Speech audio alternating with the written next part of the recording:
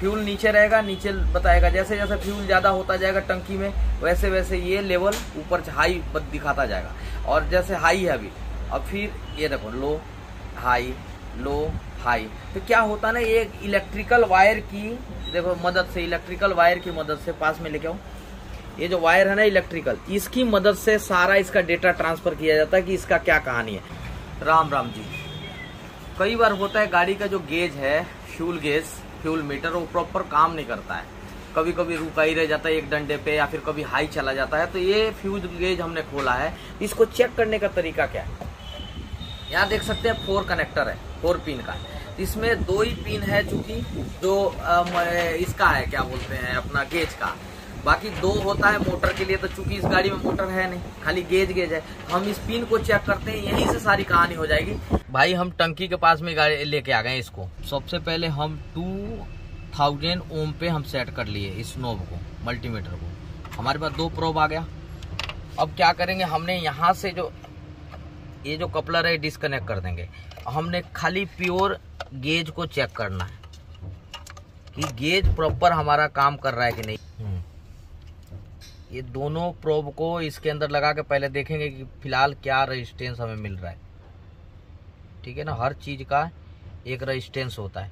321 धीरे धीरे धीरे धीरे धीरे धीरे धीरे धीरे धीरे, इक्कीस, ज़ीरो इक्कीस से चौरासी, छियानवे छियानवे, दो सौ, तीन सौ इक्कीस। यानी कि हमारा क्या है? गेज बिल्कुल एक्यूरेट है।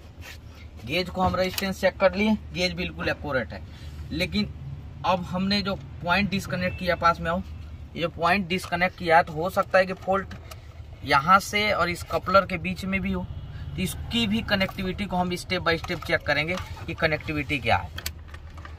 कनेक्टिविटी पे कर लिए। अब जो घंटी का साउंड बजना चाहिए बस। हो गया कनेक्टिविटी पे, अब इधर दिखाओ। यानी ये पॉइंट सही है, फिर ऊपर वाला पॉइंट को। यानी कि हमारा ये भी कनेक्टर सही है। तो इस कनेक्टर को हम बिठा देते हैं सबसे पहले। अब देखो कपलर लगा दिया मैंने। गेज भी चालू हो गया। अब कनेक्टिविटी चेक करके एक बार कंफर्म करते हैं कि कनेक्टिविटी ओके है कि नहीं। ये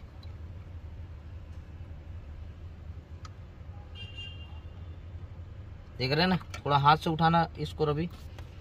इसको गेज को उठाओ। आ गया ना? इसको भी दिखाओ हमारे हाथ को भी इसको भी। यानी कि गेज पूरी तरीके से कंफर्म हो गया कि ये गेज में फॉल्ट नहीं है। पैसे बर्बाद मत करो। तुरंत ही उठाया गेज फटाफट डाल दिया। नहीं गेज कंफर्म हो गया एक्यूरेट है। अब हम इसकी वायरिंग को टेस्ट करेंगे कि वायरिंग में ही कहीं ना कहीं फॉल्ट है। इस वजह से दिक्कत कर रहा है। हाँ। अब हम कपलर को ये लगा देते हैं। पूरा कपलर बैठ गया। ठीक है? अब यहाँ से हम यदि ऊपर उठाएँगे, यानी तेल फुल होता है तो ऊपर उठता है। और तेल खत्म होगा तो नीचे गिरेगा। तो हम ऊपर उठा के वहाँ मीटर में देखो। आया कुछ? मीटर में तो अभी नहीं दिखा रहा है। देखो, बिल्कुल नीचे है। अब मैं ऊपर, नीचे ऊपर, नीचे कर रहा हूँ, लेकिन बिल्कुल वहाँ शो नहीं कर रहा है। इधर दिखा दो जरा। लेफ़्ट साइड का है वो। ये देखो ये कनेक्टर जुड़ा हुआ है। तो कहीं ना कहीं वायरिंग में पंगा है। तो वायरिंग को हम उधेड़ के चेक करते हैं एक बार वायरिंग में क्या पंगा है।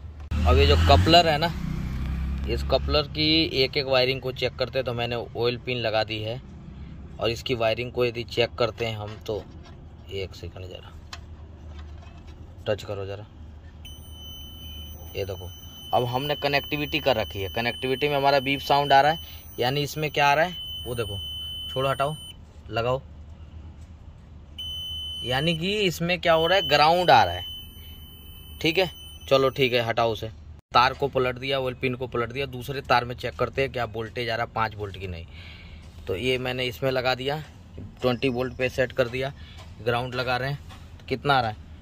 फोर पॉइंट नाइन सेवन मैंने पाँच अप्रोक्स पाँच वोल्ट आ रहा है। यानी दोनों वायरिंगें ओके हैं। वायरिंग से रिलेटेड कोई पंगा नहीं है तो पंगा कहाँ है?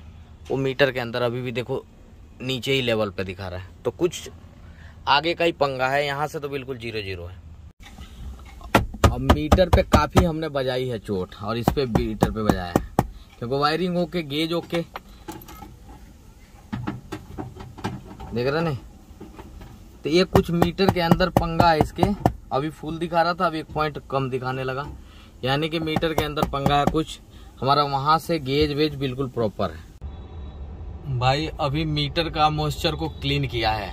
ऑन करो जरा एक बार स्टेरिंग स्विच अभी एक, दो, तीन पॉइंट दिखा रहा है ना? देख रहे हैं ना? तो तीन पॉइंट इसमें है। अभी सही रीडिंग दिखा रहा है जितना डीजल है। लेकिन फिर भी हम पंप पे आए हुए हैं और इस पंप पे डलवा के एक बार रीडिंग को चेक करेंगे तीन पॉइंट से एक्स्ट्रा हो रहा है कि नहीं हो रहा है। फिर उसके बाद चला के चेक करेंगे हमारी गाड़ी सुधरी कि नहीं। हज़ार रुपए का डीजल डलवाया है मैंने, ठीक है?